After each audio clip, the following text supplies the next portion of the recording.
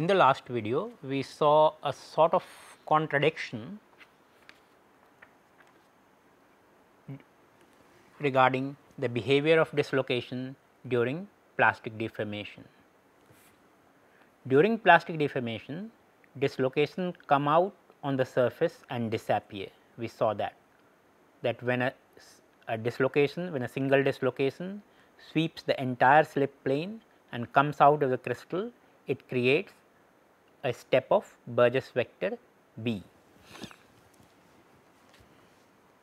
Another fact which we saw that dislocation density of a plastically deformed solid is higher than that of a undeformed solid. So, on the face of it these are two contradictory statements that because if the dislocations are coming out on the surface and disappearing the dislocation density should come down. However, finally we are seeing that the dislocation density is increasing. However, this contradiction is not really a contradiction and this is what was seen by two scientists Frank and Read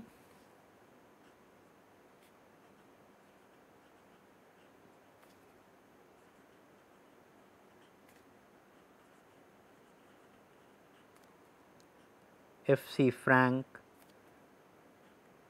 and T. Read, they saw that actually both of these things can be true, they are not contradictory and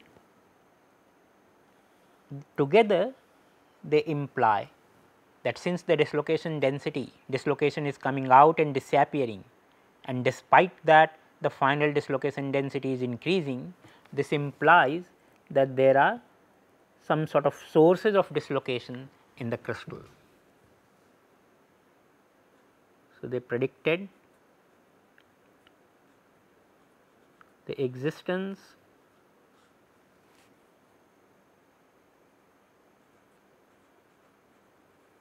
of sources of dislocations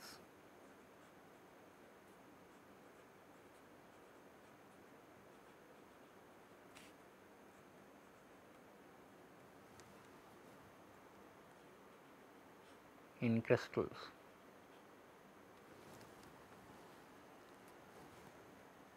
Which means that there are sources which operate during the plastic deformation and generate more and more new dislocations. So much so that they not only counter the any decrease due to dislocations coming out, but they actually make more dislocations such that the dislocation density, the final dislocation density is higher than the starting dislocation density. So, these sources operate during plastic deformation to generate more dislocations.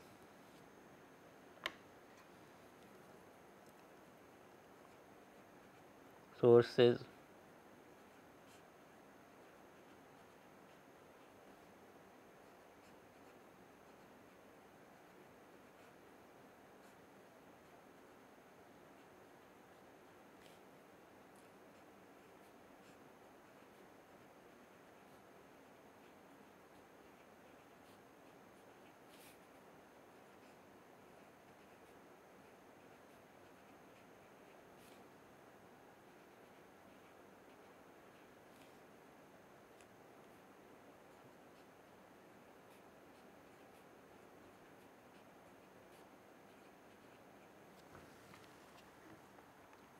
Let us see one example of such a source that how such a source can work. So, in this drawing I have drawn by the blue line you can imagine a cubical solid, a cubical crystal and within that crystal by this PABQ line I have drawn a dislocation line. So, this is a segmented dislocation line it has two horizontal segment, it has two vertical segments P A and B Q and a horizontal segment A B. Let us say the dislocation has a Burgers vector which is perpendicular to the dislocation line everywhere. So, it is in this direction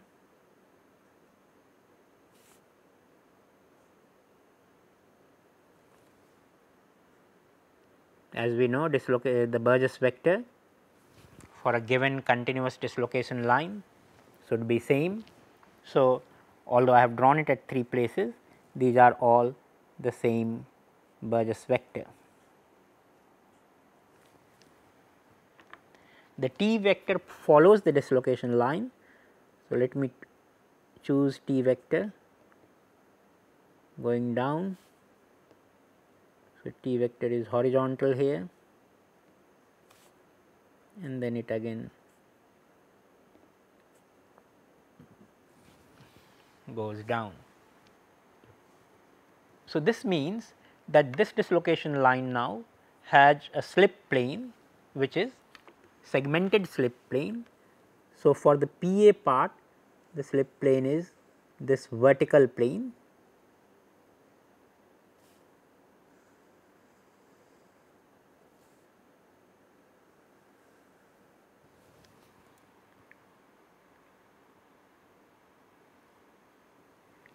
let me label it. C D E F. So, C D E F is a vertical slip plane for the segment P A. And then G H I J. And the G H I J is another vertical slip plane for the segment BQ. But the segment AB lies in the horizontal plane and has a slip, slip plane EFGH.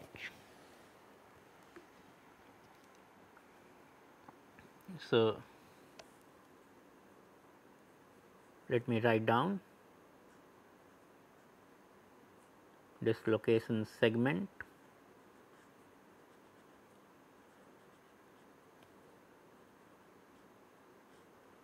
the slip plane. So, that for the dislocation segment PA, the slip plane is CDEF. For the dislocation segment AB, the slip plane is EFGH and for the segment BQ the slip plane is GHIJ because notice that the slip plane has to be the plane containing the dislocation line and the Burgers vector. Now, in this this crystal suppose we apply a horizontal shear stress acting on the top face of the crystal in this direction.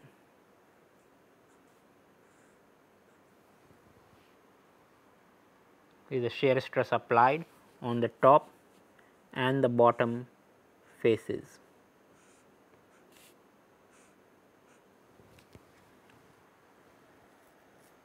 So, we are trying to deform the crystal using this shear stress. Notice that this horizontal shear will be felt on the slip plane EFGH. So, but it will not be felt on the slip plane C D E F and GHIJ which are vertical. So, there will be no for the horizontal shear stress shown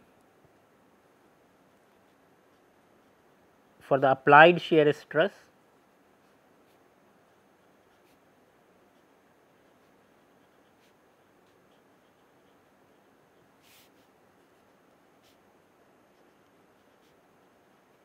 as shown.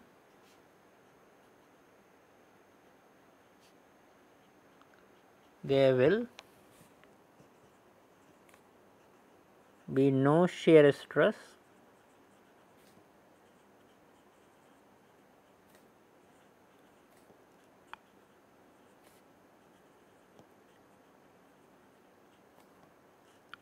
On the vertical planes.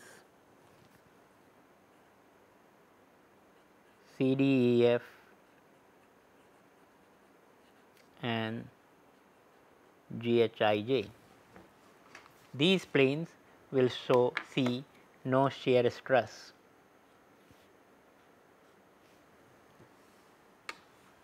But there will be shear stress on the horizontal plane EFGH.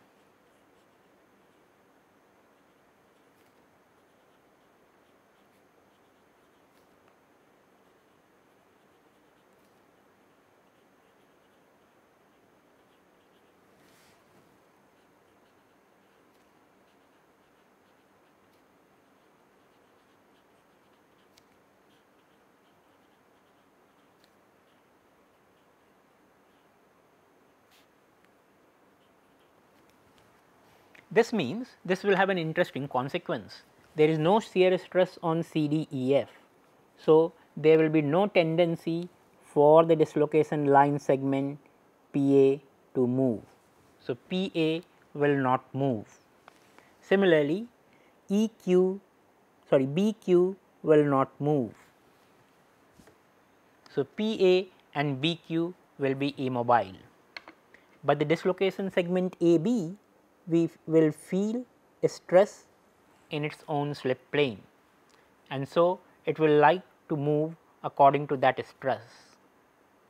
So, effectively what will happen is that this dislocation line segment A AB will be pinned at A and B because segment AB PA is not trying to move and BQ is also not trying to move. So, A and B will act as pinning points on its slip plane, but the rest of the dislocation will try to move according to the applied stress. So, that situation let us picture now. So, now I am drawing imagine. So, let me draw that. So,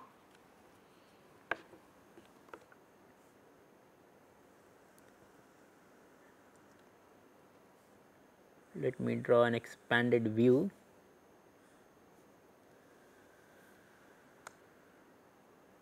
of the EFGH slip plane.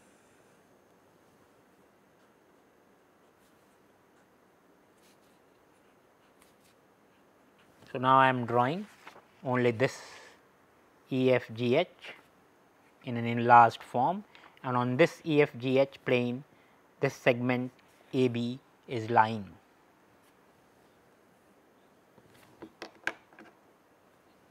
Actually, um, really what I am drawing is uh,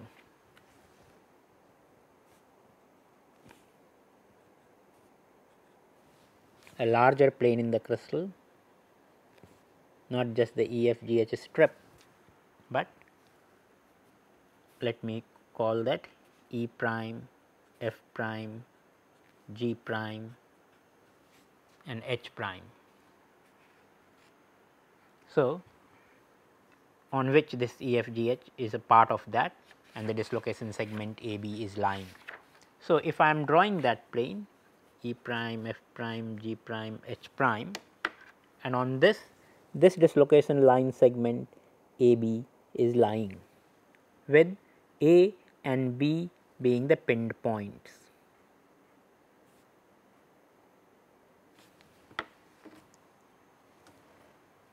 The dislocation Burgers vector we had decided to be in this direction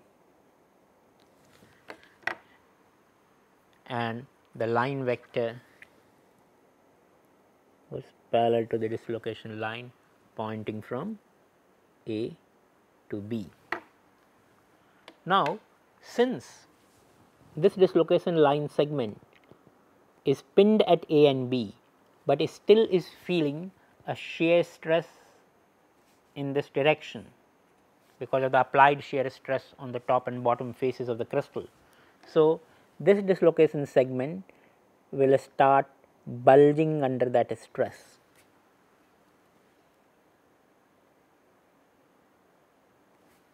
And at some point it will take a semicircular shape. It, it can be shown we are not going to we, we, we will just accept this result it can be shown that the stress required to bow it into a semicircular semicircular shape is the shear stress GB by L where L is the length of the dislocation line segment AB.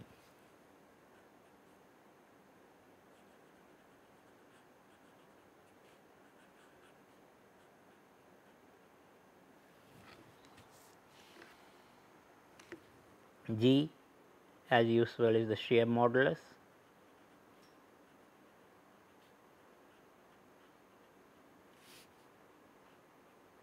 and B is the Burgers vector, length of the Burgers vector.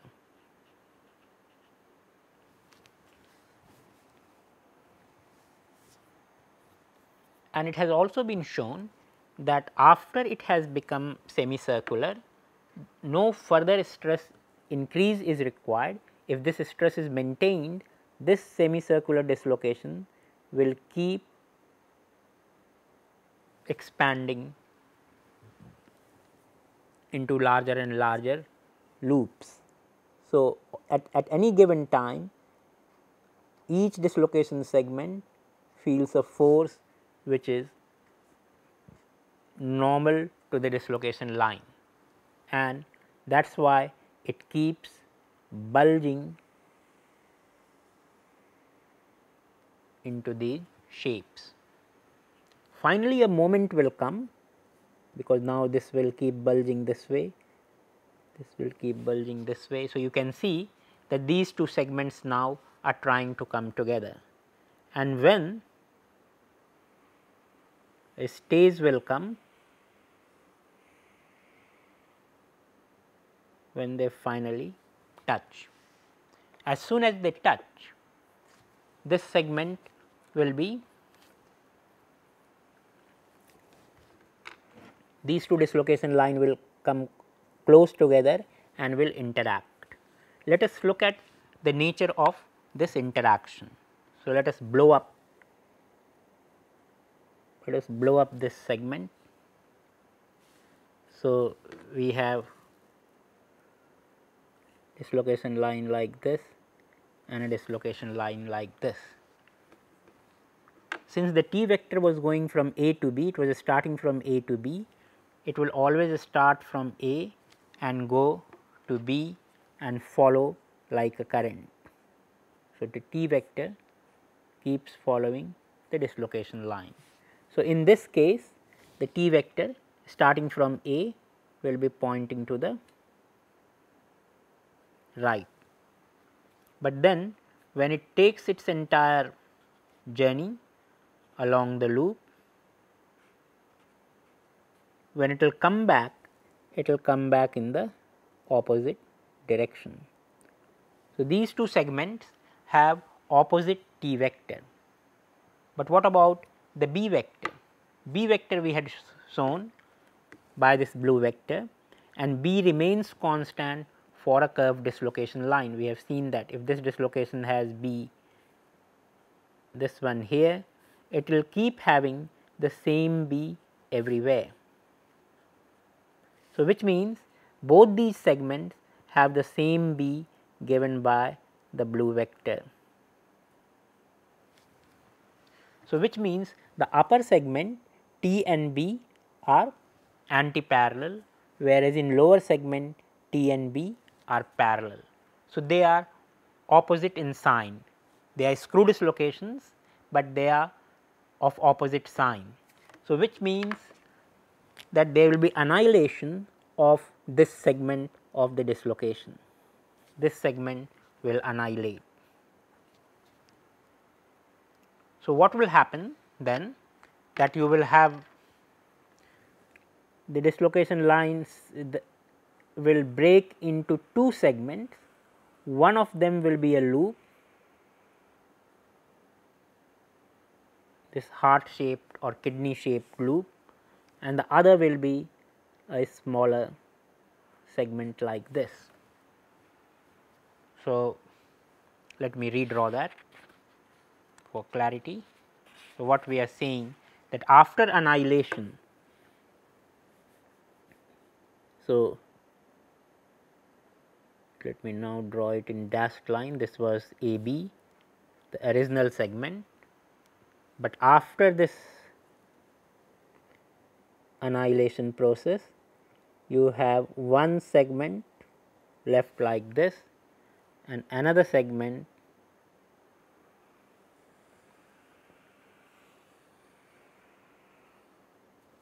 another segment like this which this part being annihilated.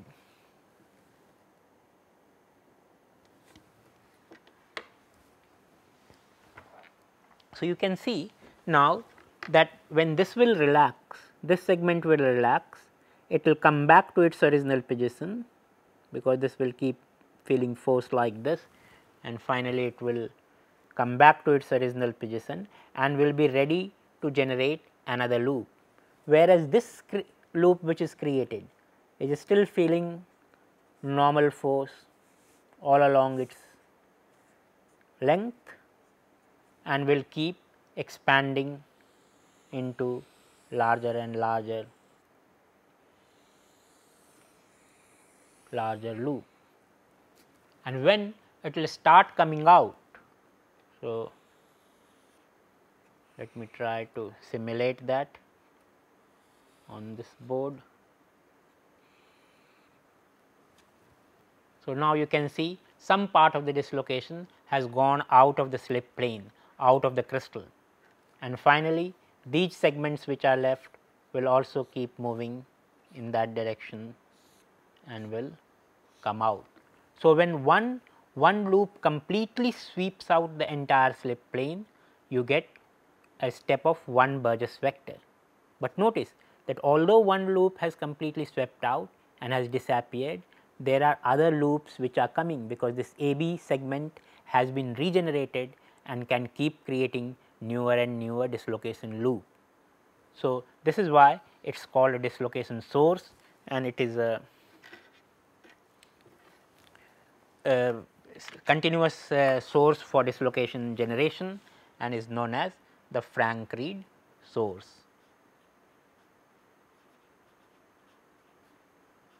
Both Frank and Read independently thought of this process and then in 1950 they met in a conference and quite gentlemanly like uh, they agreed uh, to have a joint publication instead of fighting over the priority of who has thought of it first they shook hand and um, published the paper jointly and this is now known as the Frank Read source. So, it was a theoretical proposition but later on through various experiments it was verified and such kind of dislocation loops were actually seen in microscopy, electron microscopy and in some cases as, as steps in the crystal formed due to this kind of movement.